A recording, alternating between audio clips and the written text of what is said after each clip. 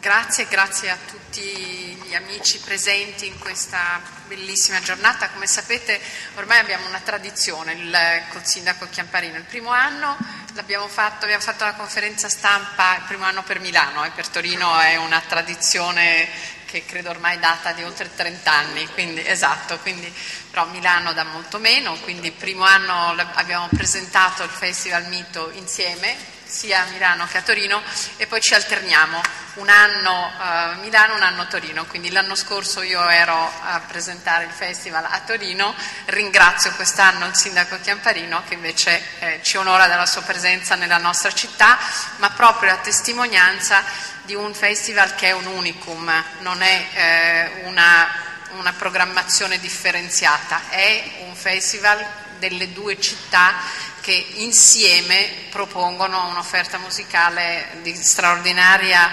eh, ampiezza e di straordinaria qualità. È un festival che ormai si è affermato mh, come uno dei momenti culturali più importanti nell'ambito musicale in Europa. L'anno scorso abbiamo avuto oltre 4.000 artisti che sono venuti da oltre 33 paesi e 170.000 eh, spettatori, quindi e questa, eh, questo rapporto con, con Torino eh, intendiamo utilizzarlo anche in questo modo per rafforzare l'attrattività delle città attraverso il festival, quindi chi viene a Milano ha la possibilità di recarsi a Torino e usufruire eh, della splendida musica diversa da quella di Milano che c'è a Torino, ma nel contempo anche delle bellezze artistiche e culturali di Torino e viceversa. Quindi un uh, programma che rafforza l'offerta culturale complessiva delle nostre città e quindi anche la, la, l'attrattività turistica. Questa, quest'anno sono moltissime le, ehm, diciamo le, le, le le suggestioni, se posso usare questa parola, che questo festival offre, dai breaking jazz, che sono questa musica offerta durante le, le pause del, del, pranzo, fino a, una, una, serie di eh, offerte, quest'anno forse, se posso dire, sempre di più mirate ai giovani, con uh, accenno particolare per esempio alla techno music eh, che sarà una delle protagoniste di questa rassegna musicale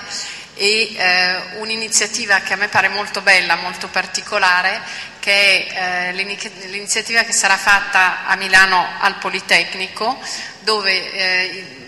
musicisti eh, suoneranno in rete con musicisti che saranno in altre città del mondo, quindi attraverso questa nuova eh, formula eh, che coniuga anche la, diciamo, l'innovazione, la multimedialità, l'innovazione, eh, multimedialità e innovazione che quest'anno vediamo anche attraverso una web tv dedicata a Mito quindi una novità anche questa, estremamente importante, bella, significativa, per andare incontro a un pubblico eh, giovane, un pubblico che, eh, si, eh, che, utilizza questi strumenti, un pubblico che eh, anche grazie a questi strumenti pensiamo che si ampli sempre di più. Ci sono poi iniziative stupende ehm, di cui poi parleranno gli esperti, non sono certo io la persona con le competenze giuste per parlarne, solo un accenno anche però a questa eh, dimensione internazionale. Come sapete Milano nella sua offerta culturale sceglie ogni anno delle, eh, dei, degli ambiti, dei paesi sui quali eh, accendere i riflettori in, una, in, quella che noi chiamiamo questo rapporto Milano-Mondo, che è una delle due linee culturali che noi seguiamo. Una è Milano e l'identità della, della città e l'altra è Milano-Mondo. Quest'anno abbiamo scelto eh, gli Stati Uniti e il Giappone e quindi nell'offerta culturale complessiva, non naturalmente solo nell'offerta di, eh, di, eh, di mito, ma quindi Mito ha, ha, dedicato in maniera particolare anche un'attenzione alla uh, musica giapponese, anche con eventi che arricchiscono l'offerta uh, musicale. E questa è un'altra delle caratteristiche, a mio avviso, molto belle di Mito, perché oltre alla musica esistono anche percorsi didattici, eh, momenti di riflessione, quindi eh, momenti che avvicinano pubblico che magari ancora non, è, non si è avvicinato alla musica alla musica. Per concludere a Milano saranno circa, a Milano e in Lombardia naturalmente circa 79 i luoghi che vedranno la musica protagonista sono luoghi al di fuori, oltre naturalmente alla serata di apertura che faremo alla Scala, ma sono luoghi che mh, si aprono alla musica, sono luoghi che non sono abitualmente dedicati alla musica, proprio perché eh, questa dimensione della musica per tutti, musica di grandissima qualità, ma musica per tutti, entri sempre di più nella dimensione dell'offerta culturale della nostra città.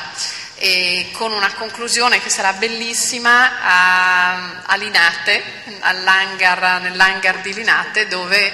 siamo tutti invitati a facendo il check-in per entrare, siamo tutti invitati a, sul, sulle note del, degli anni 30 e 40, quindi sarà una, una bellissima serata anche quella. Leggete il programma perché è un programma vastissimo, amplissimo e troverete sicuramente tanti motivi per essere presenti a Milano e a Torino. Sindaco, a te.